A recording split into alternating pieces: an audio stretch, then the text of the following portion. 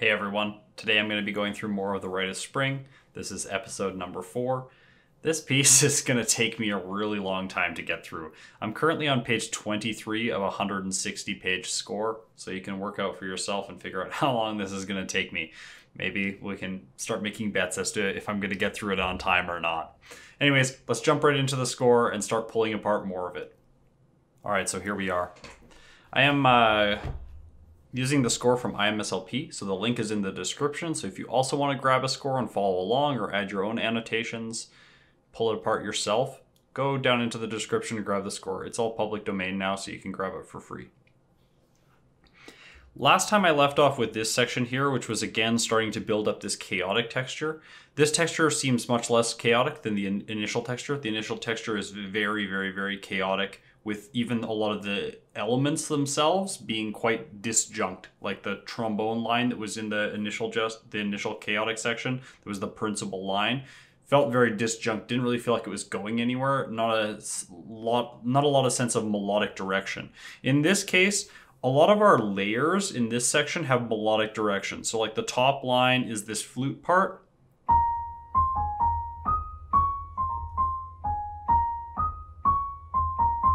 That feels like it has some sense of melodic direction to it. It doesn't just feel like it's really chaotic.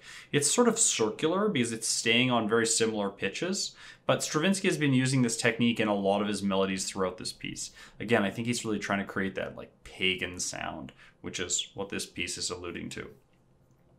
We also have these clarinets going, and then we have this main melody, which is in the trumpet. So.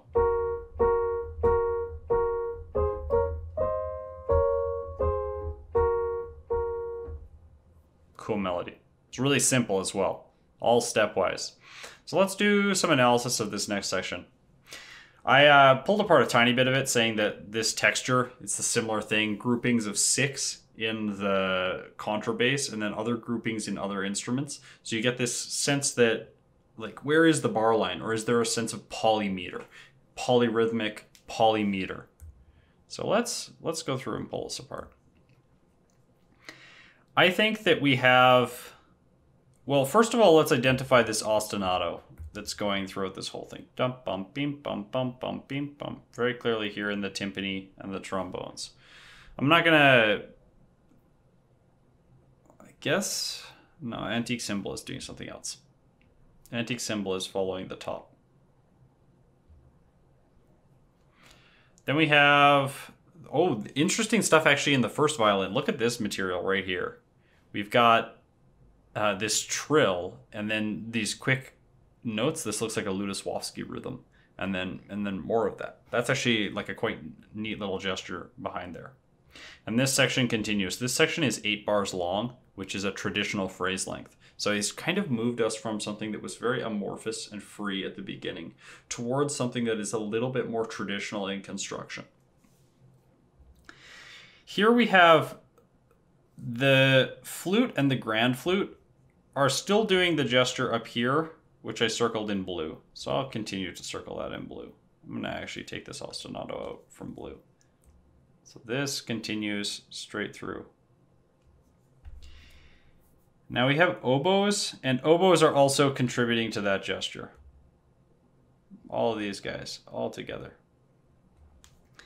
Now, I wonder if these flutes playing these little um, arpeggiated figure or sorry grace note figures i think that they're actually probably related to that figure as well. Like basically all the upper winds are kind of contributing to this this textural sound uh, minus the clarinets. The clarinets are doing their own thing. And i circled that the clarinets here in in uh, in green.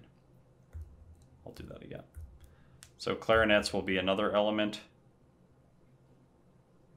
by the way, I think I should just pause and talk about my analytical technique here because I haven't talked about it so far. I've just really been uh, going through and just doing my thing and not really saying why I'm doing this. I'm specifically pulling it apart from a layering perspective right now because I think that that's the most salient feature about this section of the piece.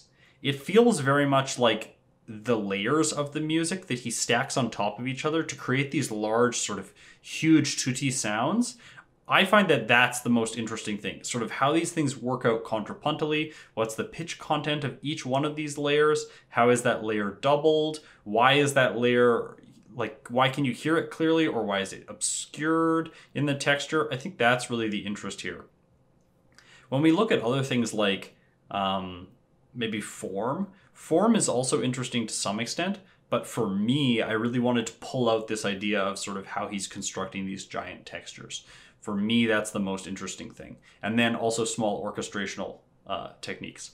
I'm sure as I move on to later sections in the piece, that my analytical technique is going to dramatically change. Maybe I'll specifically look at rhythmic, uh, rhythmic displacement and time use of time signatures, that kind of thing. But for now, I really think that layer, a layered approach is is a good idea. He's establishing these little ostinati, and then they keep going throughout sections, and then he layers other things on top.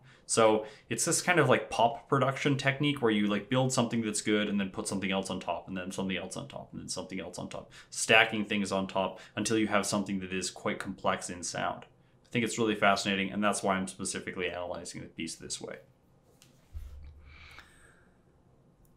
Uh, this oboe gesture is hitting with the horns.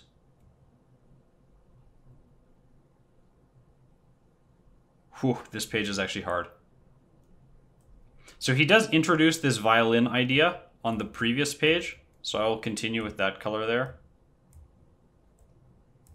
He's really good at this. He'll introduce something and then that thing just takes off here. You can see that, right? It's like the first time he introduces it, he introduces it a couple times. First it's just one line, then it's doubled in thirds, and then it appears and it has it, it's really just become part of the background now. These flowing 16th note motion underneath everything. The ostinato I put in purple, so I'll continue marking it in purple. Oops, right here. These guys. No, not antique cymbals. Oh my gosh.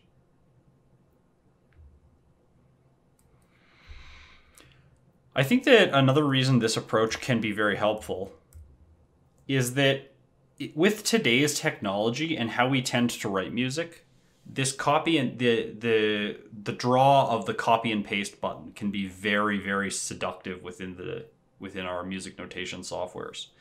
And because of that, it's nice to go back and look at what humans were doing before the advent of digital technology and then ask the question is the digital technology that I'm interfacing with right now creating a barrier for me to create the pinnacle of musical expression? So, like, is the computer actually stopping you from creating great music?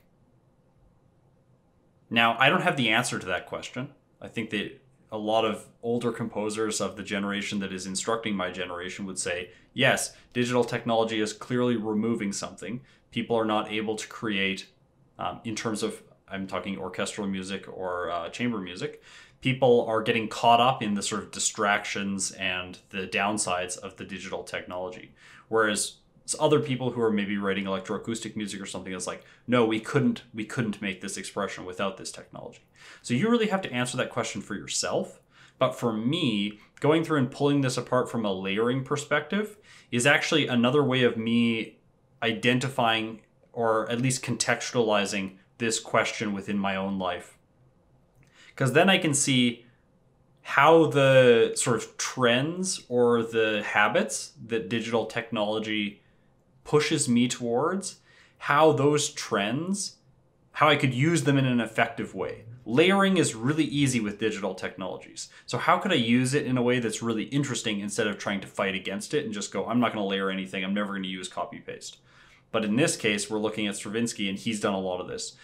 Although what I am seeing as I look through the piece is that when he does layer things, he tends to not just copy and paste a lot. There are sections like that, like here in the uh, in the clarinets. The clarinets are just repeating the same thing over and over and over again, and the flutes are falling into a similar kind of repetition. But it's not always a direct repetition. So that's another reason why I think that this approach to analytics is helpful for me specifically. So we have these shots that are now happening in the brass. I would like to go through at some point, I'll just put them in brown. these shots, and they're here here as well.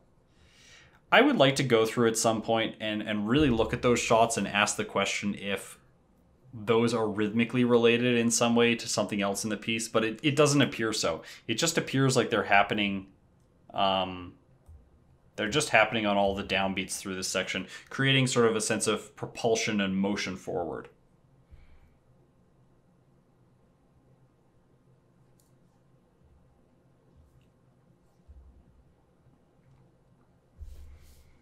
All right, I got to answer the question what is the flute? The top, uh, upper flutes.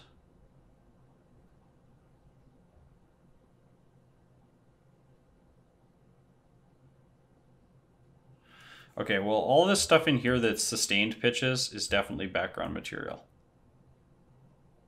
As well as that arpeggiated figure, because we've been labeling it like that so far to this point. So why would it change? I just don't know what the flutes are here. As well as this, I think that this here is background material. And I think that that, that uh, violin stuff is going to emerge as its own independent element. Messing things up until the end of this section. I'm not going to label the rest of the section just because we can assume that once the composer sets up a certain orchestration for a passage, the composer will keep that orchestration for the passage. He's not going to alter things later on. All right, let's listen through to a part of this. And uh, oh, my mouse is on the wrong screen. And uh, and here, and I'm really going to listen for this violin gesture and uh, the first violin, this idea here. And then I'm also really going to listen for the flutes and see if I can hear exactly what's going on, how those things fit in.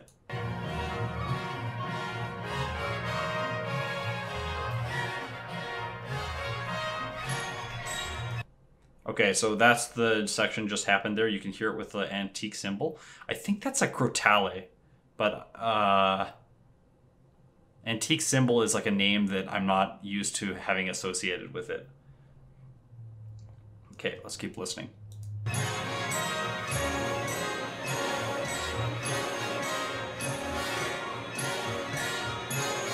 Very interesting. I can actually hardly hear that violin stuff it, it is just like becoming part of the texture. And the most noticeable element that I'm actually most surprised about is the antique cymbal. It's really cutting through because it has a very sharp attack. I'm actually going to label it with the color that I gave to the ostinato because it feels similar to the ostinato figure. It's this kind of alternation back for back and forth. And I'm going to label the violin since a lot of the strings are participating in more like background textural stuff. I'm going to label it also as, as yellow. It could also be the more teal color that I had here. So it could also be this. Oops, sorry. It could also be this, where the upper strings are creating this more shimmering effect in the background, and then the bass and cello are creating the more arpeggiated effects, and then other people are contributing on top of that. I think when we look at this passage as a whole, Stravinsky has has set up basically three things. He's set up number one that the tr- trumpets are playing the primary melodic material. Undoubtedly, the trumpets are playing the primary melodic material.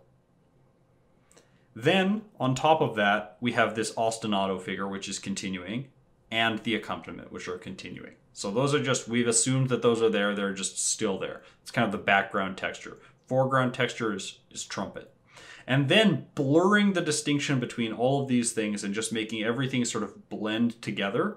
We have the upper strings and the upper winds, which are creating these energetic textures. So we have the sort of previous melodic material from the flutes, which is contributing to the texture. Then we have this new idea from the clarinets, which is contributing. And then these more active lines that are now also in the violins. It's worth noting that I still think, even despite all of this material that Stravinsky is throwing at this passage, that the intent of the passage is clear. This is a large tutti passage, and the trumpets are the most important thing. Also, all of the elements are all of the prominent elements that provide this sense of chaos have been present previously, except one which is the violins adding more texture. So these uh, 16th note runs in the violins, and this trill figure with the descending motion, that is really like the only thing that's really been added in in this section.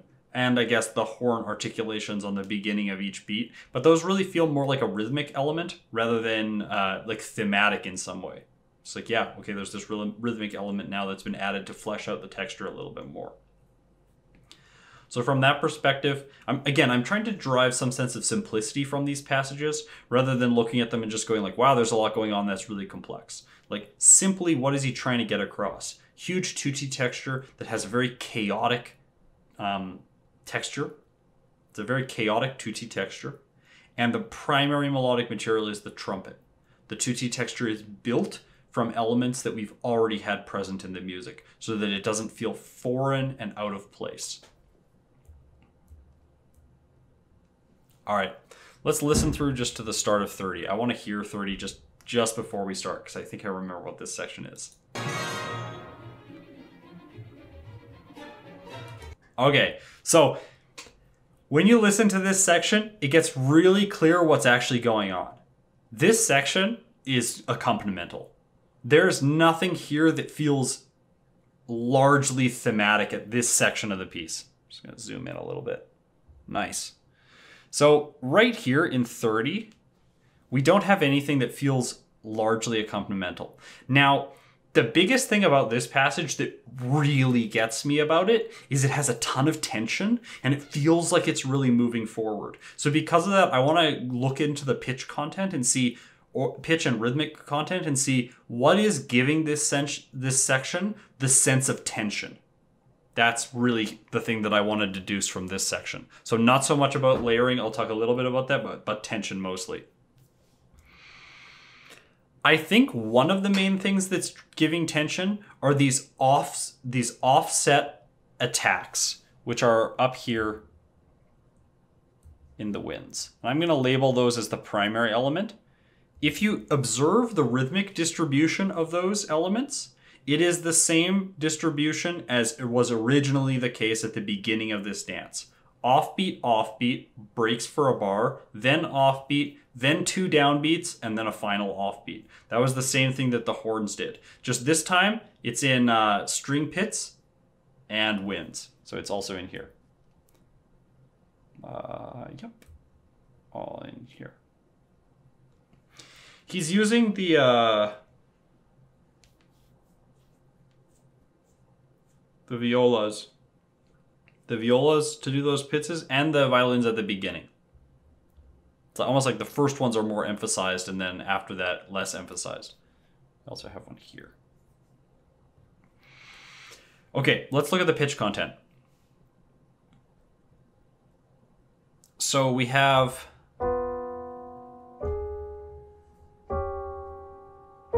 All right, I get how Stravinsky is making this sound super tense. It's a bunch of parallel diminished fifths.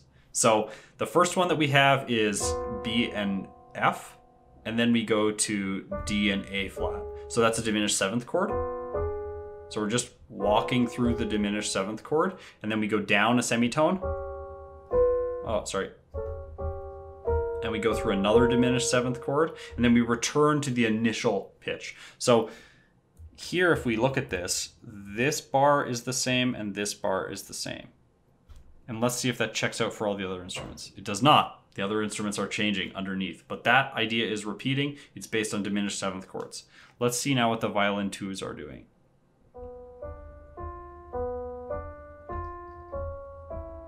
Ah, they're arpeggiating a small portion of this diminished seventh chord, but now in triplets. So we have a polyrhythmic relationship. The top is playing uh, tremolo, no, not tremolo, 16th notes on the diminished fifths. And then the bottom part is arpeggiating through the triad in a polyrhythmic relationship. Triplets in this case. Then we have uh, this, it says four soli. So four violas that are that's like just wild. Some orchestras only have four violas. Anyways, um, and is this in treble clef? Yeah, it is. Okay, so.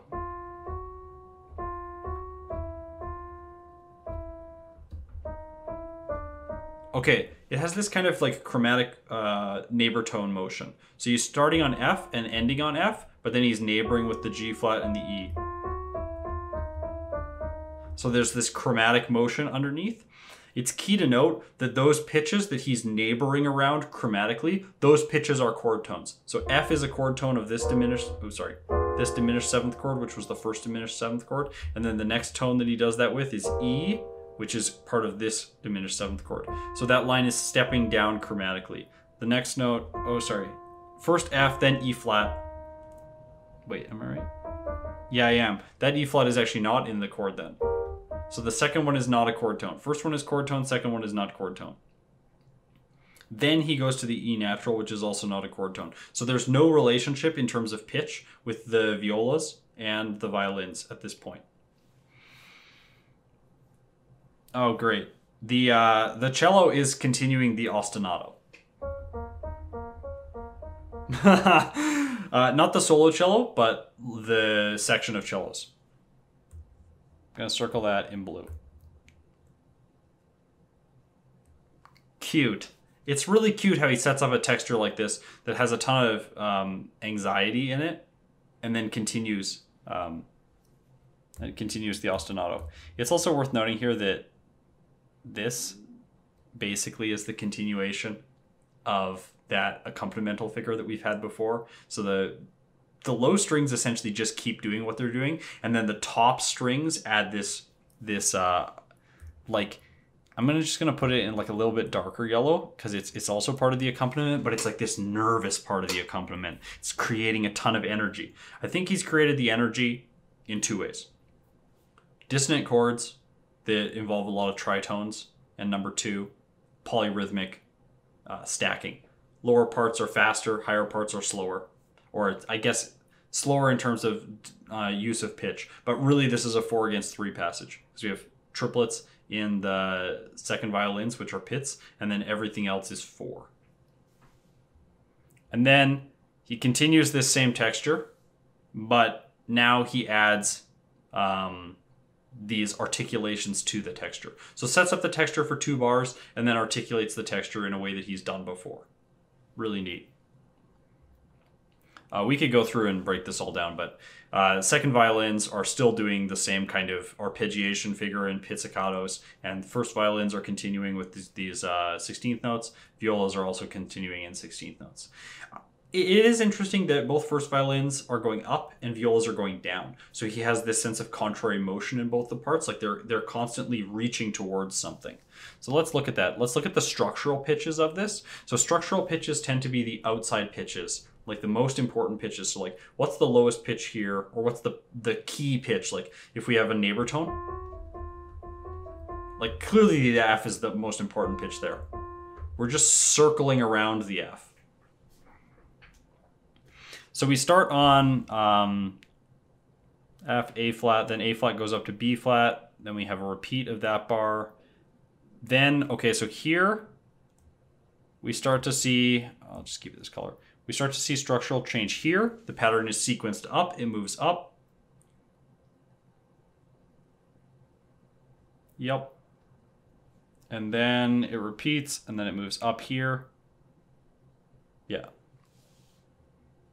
each time this material is diminished, but he moves it up and then he moves it up again. So it's on one pitch level for three bars, then on one pitch level for two bars, then on another pitch level for three more bars. So this sense of sequencing the pitch content up is creating that sense of, I think, uh, tension, tension building.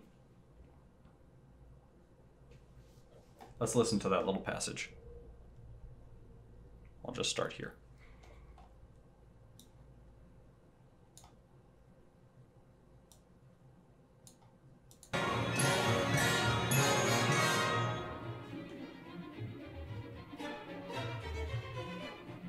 You can really hear the tension rise when that diminished seventh steps up. And then it'll do it again here.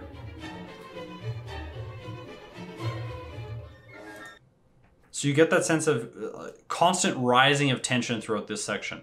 Again, I talked about in the last section about the composer's intent. And I think that that's something I'm trying to incorporate in my own work right now is a strong sense of intent. So when you listen to a passage of my music, you go, what's the composer's intent? This is supposed to be tense and it's intensifying, like becoming more tense. We're leading somewhere. We're going somewhere. There's motion, sense of motion. It's like, have you ever watched a movie and then like there's a scene and they're like talking about things and you're like, how does this relate? I don't know where it's going. So I'm trying to avoid that, the musical equivalent of that, creating motion and direction in my music. Okay, this section starts now. Uh, this section is really interesting. So he's taking that melody that he had before, that melody, and he's using it. So Piccolo has that melody, definitely primary material here. Interesting thing here is that we've got these, uh, the horn and the bassoon are doing this offbeat, really weird, like, it's like, ah, what's happening? It feels like so out of place in some ways. Now, I'm going to probably label the strings and the bassoons all doing that, and I'm going to give them secondary material. Because it seems like the strings just like kind of add in and comment on this gesture as it's happening. Uh, it's worth noting here that he has the violins and uh, the cello pitsing. There's a reason for that. So it makes sense to have second violins and violas because they're more like in the inside of the orchestra, just keep going with the accompaniment. But he also is using the cello as the pitsing instruments because they have a larger cavity of sound. I think it's going to project a lot better. It, it does interest me that he didn't put the double basses in on those pitches, but maybe he doesn't want quite as much bass sound. So he wants like a loud but but not super bassy sound. Uh, and then I think that what are the the violas and violins are playing this dyad. C and D. Bup, bup, bup, bup, bup, bup. Uh, up and down bow. And they're doing oh sorry, pizzicati. So dun dun dun dun dun dun opposite directions.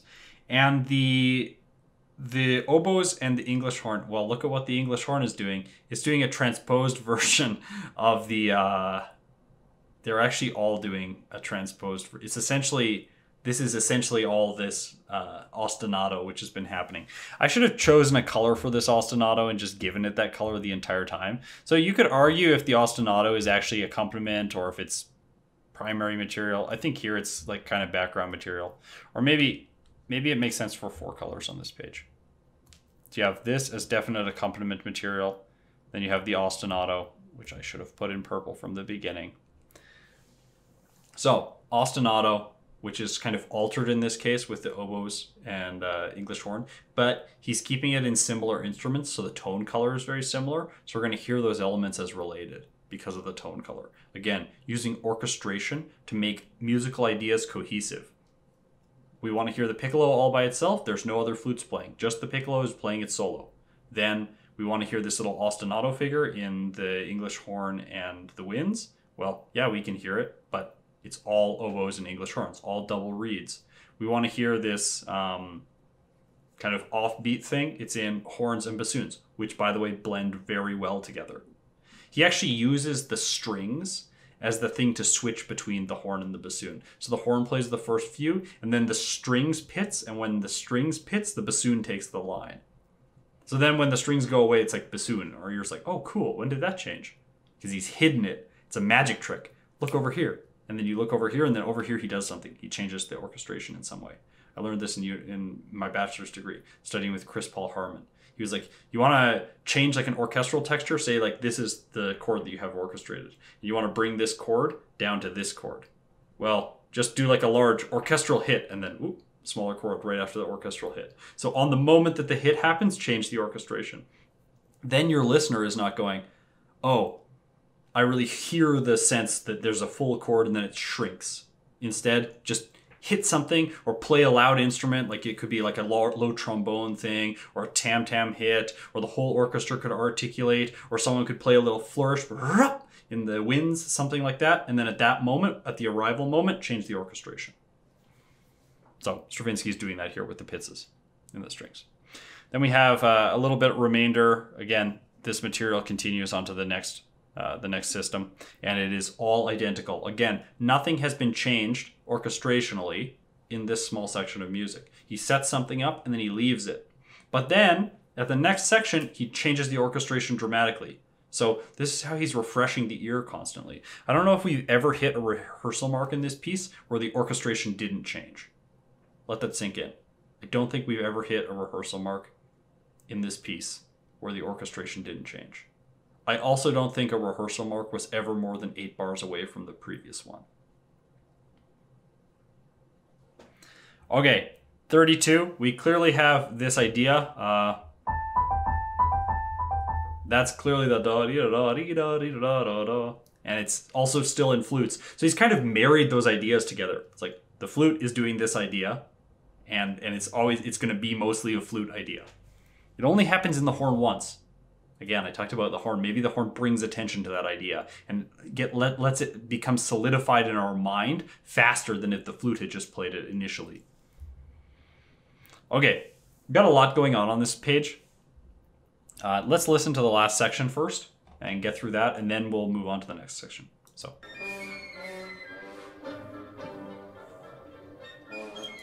The, the switch from horn to bassoon is actually very smooth because of those pizzes. Then the switch back, though, here, right here, back to horn, is noticeable because he marks it sforzando and there isn't a pizz. So he allows us to hear that switch then back from bassoons back to horn. And I think he's trying to emphasize the fact that the melody is starting up again as well. So it's like there's this sense of a four bar phrase. You have the first four bars, and then the horn articulates and the piccolo comes back in, and we hear, oh, this is the second four bar phrase in this section, which it is.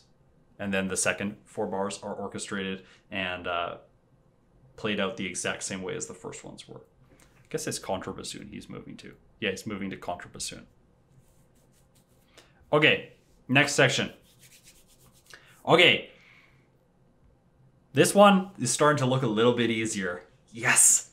Also, by the way, there's staccatissimo markings here, which are these little like wedges that point downwards on the winds. Funny story, I was uh, rebinding all the hotkeys in Dorico. Like I say hotkeys because I used to be a video gamer.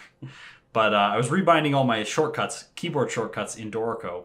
And when I was doing that, I was there's they have staccatissimo markings, and I was like, what is that used for? I've literally never seen that. As a harpist, I've never seen a staccatissimo marking in my in my score.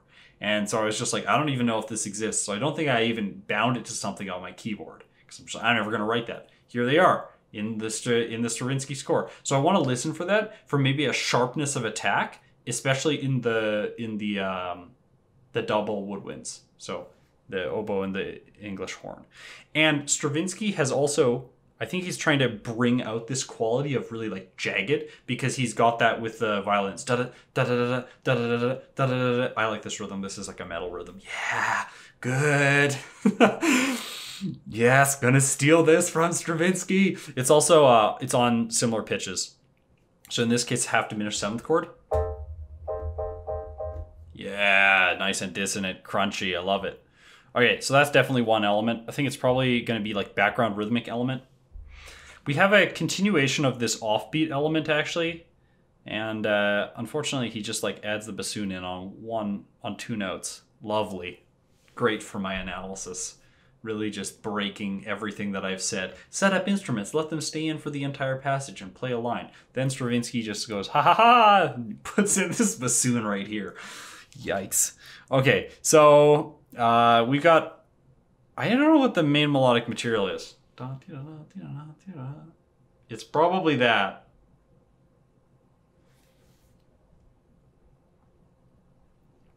Okay, it's really obvious what the melodic material is in the next section. That's clearly the main melodic material.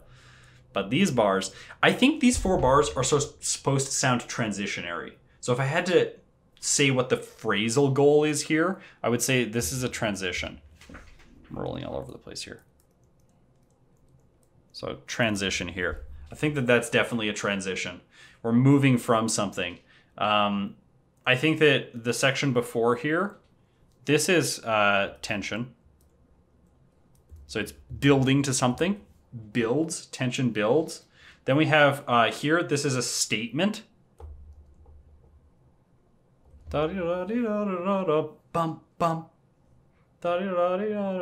It's kind of like a disjunct statement almost. And then we have a sense of transition. This material is moving us to something else because there, there's these motions up in the bottom and like there's nothing that feels particularly thematic I want to listen to it first. Let's see what my ears say. Ears are often better than looking at the score.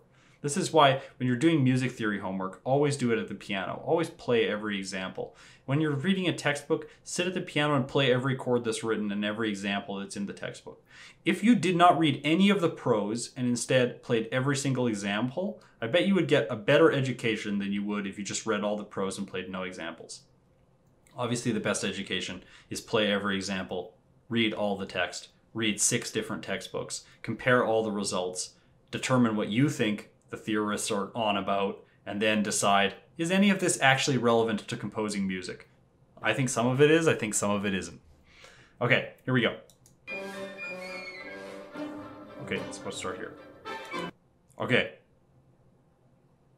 From like one second or half a second, I actually hear.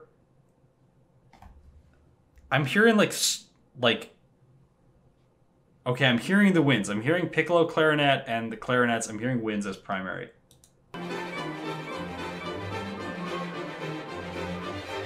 Yeah, this is really transitionary. It's holding time. Right? It doesn't feel like it actually doesn't feel like we're really going anywhere. It's like a it's like a it's rhythmically charged, but it doesn't feel like it's moving. He's just layered a bunch of stuff that doesn't move. It's all static. If you look at all the parts, they don't move. They just repeat the same stuff over and over again. If you repeat the same stuff over and over again, it will sound like your music is not doing anything. So this is a tr- let's just I'm not going to call it transition. Let's just call it a pause. It's an energetic pause. Uh, we can go through and pull it apart, but really I think what he's doing is he's got these two chords. Uh, he's got this uh, half diminished seventh chord, and then going to a dominant seventh chord. And he's just going back and forth between those two chords and then adding some like really if I had to break this down, I'm going to do this. This is my analysis. My super specific. Nope. This is all the same. This is all the same. There's a secondary element here. There's some kind of bass line or something down here. Oh, oh, oh, oh, oh, oh. My pen is not writing anymore. Great. No. Oh, it's because I'm in highlight mode. No highlight mode on scores. not allowed. Okay, so we arrive here. Uh, it's clear now that the this kind of same textural idea that he's set up at the next section continues, but in this case, he wants the flutes and the piccolos to come through as primary material, very clearly. They're up high, so one thing with flutes, if you want your flutes to be heard in your orchestra, the flutes should always be in ledger lines.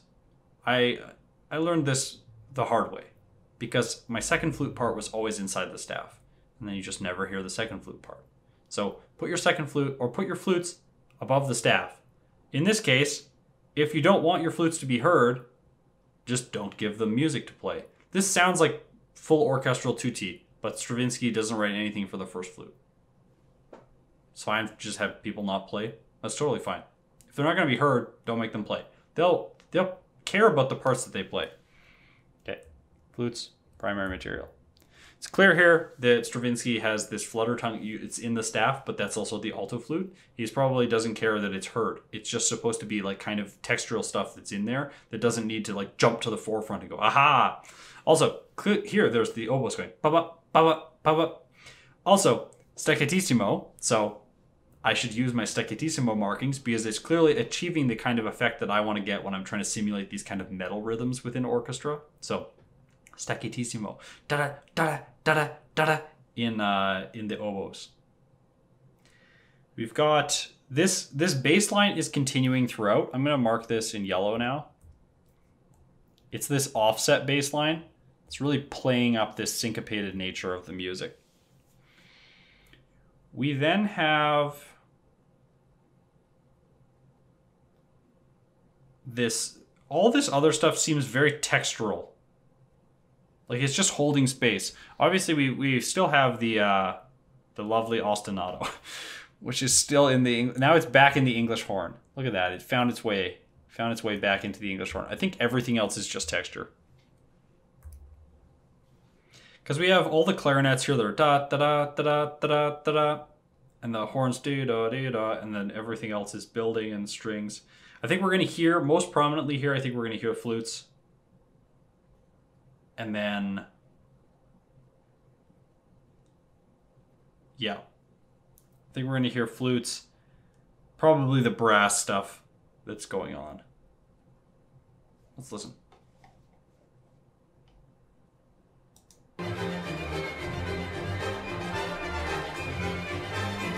Oh, interesting. Da ba ba ba ba. That actually comes through like crazy when it's in the trumpets. So it's it's kind of one of these interjection ideas.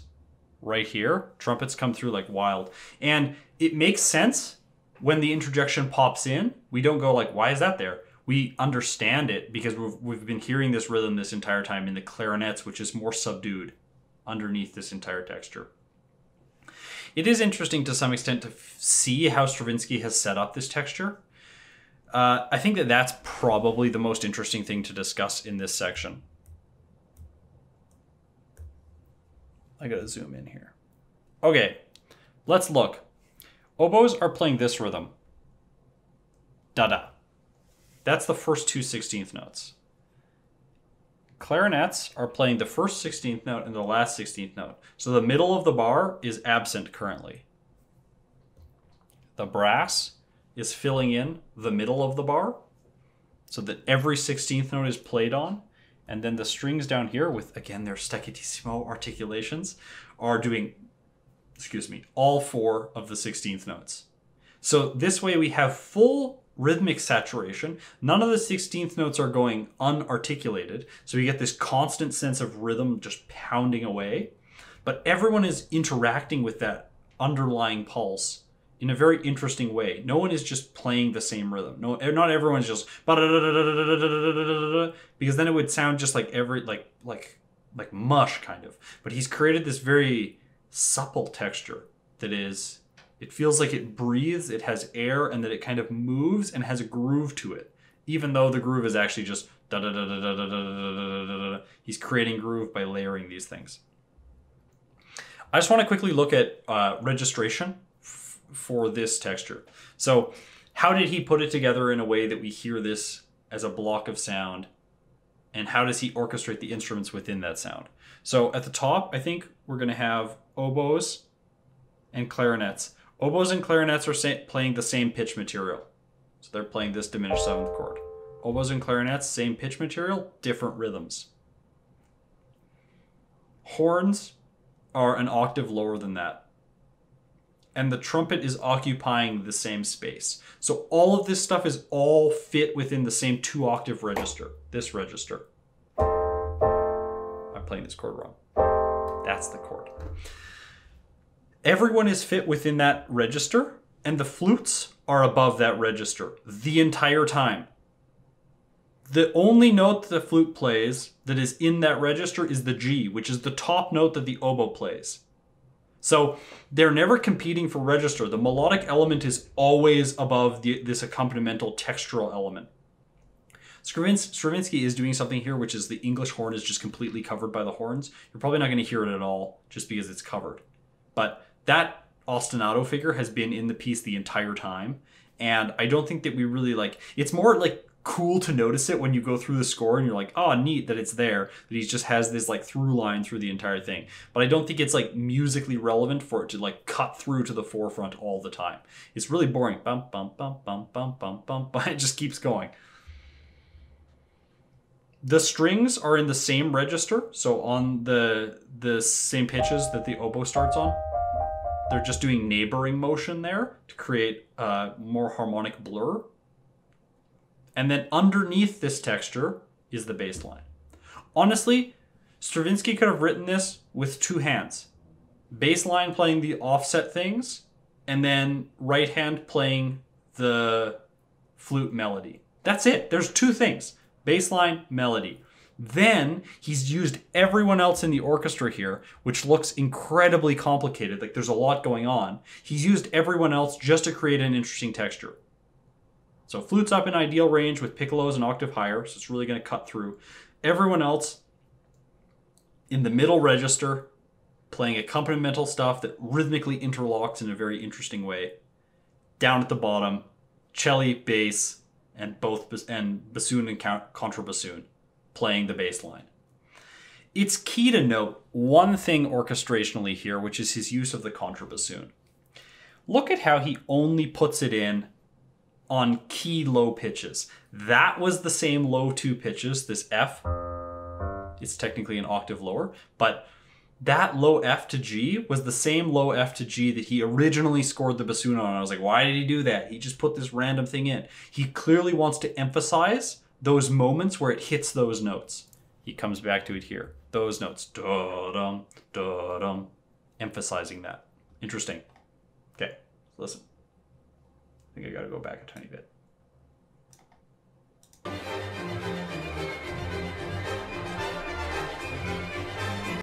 Okay, that's the section. You, you just hear this like pulsating rhythmic texture, which feels like like it's hard to latch onto and know what the actual rhythm is. Like I'm hearing like da da da or da da da da like that that uh the oboe and clarinet compound rhythm da da da da da da da da, which was the rhythm that the violins had previously. But then the violins blur that by playing every single note, and the horns fit in in the gap. Whoops. Okay. Moving on. Oh, yes, yes, more wind insanity. I love the wind insanity. Uh, these sections that have these crazy winds where it's just going all over the place. I'm like, yes, it looks so compli- complicated, but it's usually really not. So let's dig apart what's actually happening. Yeah, I think that he just is continuing similar textural st- stuff that he was doing before, but so obviously the oboes are continuing to do what they were doing, which is this background texture.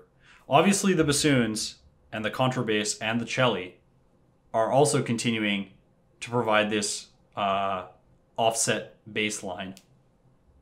These uh these all offbeat lines are something that Stravinsky clearly likes to do. He does that in the Firebird, the Infernal Dance. Dun dun dun dun dun dun. That sounds like it's three four. Bum bum bum bum bum bum. But it's actually all offbeats. Dun dun dun dun dun dun. It's like really hard to play because of that. Okay, so probably we're gonna we're gonna keep hearing flutes as primary material here because flute and piccolo at this register are they're in their this is like their low projecting register. They can project there, but they're not really high. The highest note they get to here, which is that high G right here, that's a screamer. Those notes are starting that like the F, the G, and then above that, those notes are like they're gonna cut through no matter what you do. It's hard for flute players to make those notes quiet. They can, they train to do that, but it's hard. So because of that, as the flute goes up, it's just gonna start projecting more and more and more. He's actually the first flute is in like the least ideal register. So that proves to me that these chromatic lines that he has going, both in the uh, flute one and the alto flute, are really just texture. It's in the background. It's stuff that's just supposed to create this sense of like interesting flutter tongue motion, but it's not supposed to jump through into the foreground. That's like a background gestural stuff. He also has it in the clarinet and the piccolo clarinet, also in unideal registers. We're going to hear it at one moment, which is when the B flat clarinet comes in and plays the two ledger lines above. I bet we're going to hear that flutter tongue descent down. And he actually adds in more clarinets, two more clarinets, as that gesture progresses. Look at that. Right here. Starts with high clarinet. And as he goes down and gets into the weaker registers, at a rhythmically important moment, inserts in two more clarinets or yep, two more clarinets, the bass clarinet and the other B flat clarinet, to really add emphasis. Now, he adds them in, but he does not add them in um, on the same pitch. It's not a doubling. He instead adds them in the the first clarinet, which is actually uh, playing the lower line here. It, it comes in a third underneath that first clarinet that's coming down. So it creates a sense of harmonic filling out without the implication of if these guys have to play the exact same line at the exact same time, flutter tongue, with this crazy like crazy rhythm, septuplet against um, eight. So grouping of eight, no, both grouping of no grouping of six against grouping of seven. If they have to play this crazy polyrhythm and they have similar pitches, it's just going to sound like a giant mush. So let's get them on different, slightly different pitch levels so that it, it obviously is going to sound like mush instead of just sounding like out of tune. People can't play together. You're bad musicians. You're fired. Don't do that to your poor clarinet players. So don't add it in on the same pitch, emphasis, and then like just make it be all sloppy even if they had the exact same rhythm, they had to go down chromatically like that, flutter tongue very fast, it's probably best to not get them doing the same thing. Unless there's like 20 of them. Like if every single wind in this piece is doing the same descending line. Shostakovich does this in his symphonies. He'll have these giant wind gestures that move up, and when those wind gestures move up, they're all unison. But it's like it's like nine winds all at the same time. So there's a huge chorus effect, and we get that blurring that we would want. Whereas if you have two guys playing the same line, just going to be sloppy. Okay, so he clearly uses the first clarinet as a secondary player in this gesture because he's resting the first clarinet after the initial gesture, which was first clarinet, piccolo clarinet. So he prioritized the first clarinet in that way. And then gives that first clarinet player a little bit of a break to make sure that they're in the right place, adds them in as secondary material underneath the third clarinet or fourth clarinet. It's too many clarinets. It's too many winds. Winds by five. It's just it's hard to talk about. I'm sorry. This is the only piece I've ever analyzed that has winds by five, by the way. If we look here, every single beat has. It doesn't appear that way when I looked at the score. I was like, oh, there's some gaps. There are no gaps. First, first bar, flute. Second bar, clarinet. Third bar, clarinet and flute. Fourth bar, clarinets. So there is always a flutter tongue chromatic gesture during this passage. Always. Horns and trumpets and trombones are all doing the same thing that they were doing, this kind of background texture. It actually makes sense. He's taken his winds out to do other things, these gestural things with the winds, and instead he's reinforced the texture with the brass. So, previous texture didn't have nearly as much brass in it, just horns, a little bit of trombone action trumpets at important moments to introduce their sound color, and then adds those people in here to strengthen that texture while pulling away winds to do something else. Great orchestration trick. You want to fill out the texture, save people from the previous texture, make it very full, and then you want these guys' roles their, their role to change the the winds. Add in more trumpets or whatever on that previous music, and then have these people switch away to do something else. Nice. Stravinsky, you're a genius. We all knew that already, though.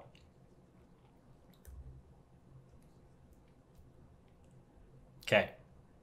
Uh, I guess that's the bass line. All this other stuff is, is background material, I'm pretty sure. Let's see if we can hear this violin playing these harmonics.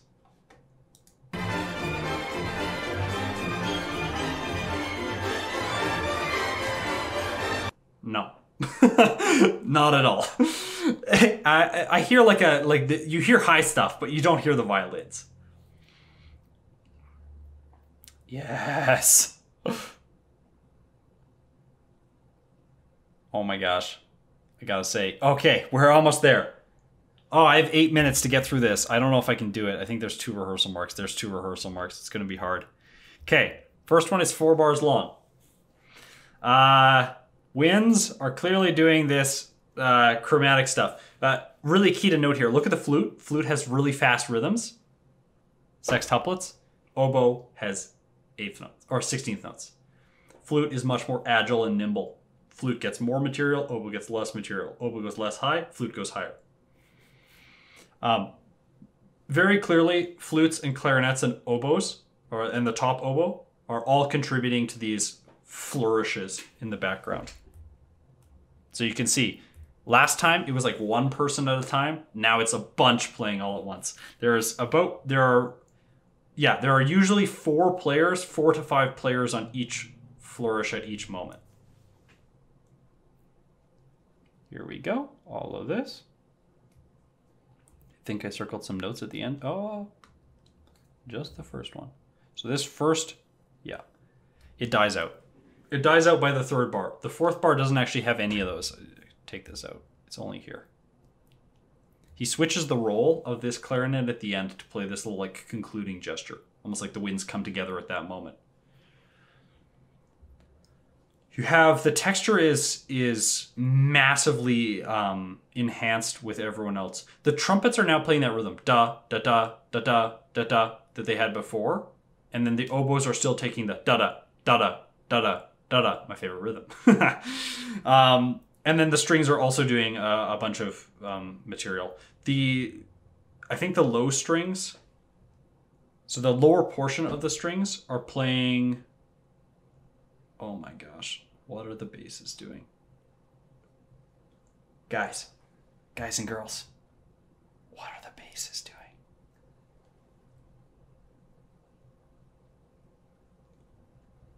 This is wild bass writing. Uh, this is the same bass line that we've had this whole time that has been rhythmically offset, but now he just went crazy with it. Aha! now you have to jump octaves and and uh, still do all this stuff. So yeah, cool. Cool, Stravinsky. Gonna make it sound wild down there. That's still the bass line. So we got bass line continuing. I see what he's doing here. Okay, bass line. This is tons of energy. He's trying to create energy. Primary material. Violins. In octaves. When first violins are in octaves, you hear it. Or first and second violins, you hear it. This is uh, probably a giant uh, giant orchestra, so he can afford to have some violins up doing these really high harmonics and other violins playing textural stuff. If you were writing this for like a contemporary orchestra these days, I would say pretty much exclusively you should have all the violins playing that material at this point while everyone else is creating the texture behind. Then uh, flutes, pic, sorry, piccolo is playing primary material, so creating a lightness to the sound of the violins, an airiness to the sound, and then everyone else is doing background stuff. I guess bassoons are also doing uh, bass line. Their bass line has now got trills on it. awesome. All right, puts the bass clarinet bass clarinet in only on those important notes. Remember, important notes. Bass clarinet comes in just for the important notes, emphasizing something, making it so that the texture, the entire texture of the passage, is not all the same texture. The texture kind of like it ebbs and flows. It gets more intense, it gets less intense. It gets more intense, it gets less intense. Adding someone in at key moments to intensify the texture, then removing them to de intensify the texture, to give that sense of breath. So it doesn't just feel like everyone has music all the time and it's just this huge wash of sound that our ear gets tired of. It feels like it moves, it goes somewhere. Okay, uh, then we have these two chords. Ba, ba. Those chords are obviously references to these offbeat chords that we've had this entire time. Here, we can probably just continue because I think that this, yep, exact same orchestration, four more bars of the same orchestration. Ba, ba, at the end of the four bars, so clear phrase length here. We have four bars. It's this melody we've been hearing this entire second section of this piece. Da, da, da, da, da, da, da, da. And then we have 36. Okay, so something changes here in 36. And we move from these woodwind figures that are going up and down, kind of triangle pyramid shapes, to woodwind fingers now that are going exclusively up. I think that what that's going to do is give a much more driving sense that this music is moving up. We also have the horns doing glisses, which is going to create uh, a ton of momentum.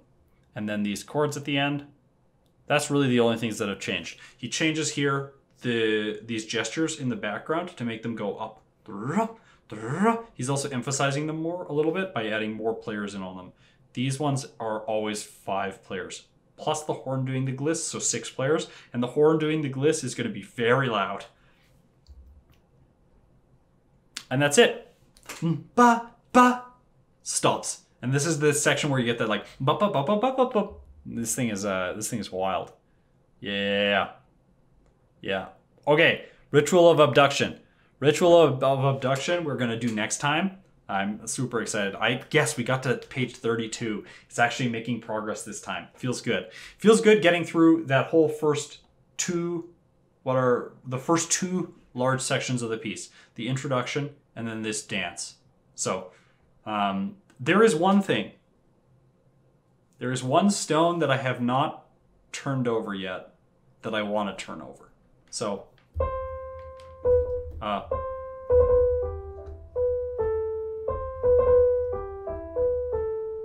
this idea feels related to the other idea. Ba da da. Uh, yeah, these feel related. I wanna I wanna spend a tiny bit of time, the last two minutes, just quickly looking for some motivic connections between those two. It's always nice to know did the composer take something and then base something else around it so that they feel like they're connected? These two ideas do come from different movements or different sections. So um, the first one's the a kiss of a kiss of the earth, and it's the introduction. The introduction features this line, and then the second part features the.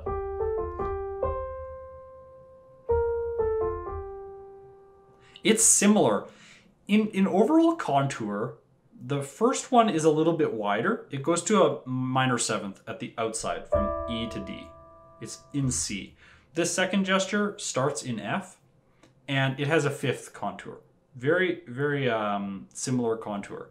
Now, the first idea here that we're seeing is very, very, very free. The rhythmic placement of it is very free. But the one internal feature that it has that alludes to this other gesture is these these uh, little grace notes that da da da da da da that turn alludes to da da da da. So in that way, just by utilizing grace notes, he's created a sort of continuity between these two ideas. I do think that they're fundamentally different ideas, but there is a sense of continuity. The one has more seconds and fourths in it. This one has more thirds. So, anyways, I uh, hope that this journey through the rite of spring is in, intriguing and engaging. I hope you're learning a lot. If you have any questions about it, throw them in the comments below. I'm happy to answer questions about this piece, as well as my thinking process about the piece, because I'm sure I'm missing a lot of things that other people think are really important. So if there's something you think is like, this should be the focus of the analysis, like pitch content uh, of a certain instrument line or something like that, then let's look at that and so put it in the comments, then I'll know to focus my analysis on some of those aspects in previous movements. But I do want to get through this without spending a full eight hour, like full 40 hour work week going through this piece. Anyways, thanks for watching. See you next time.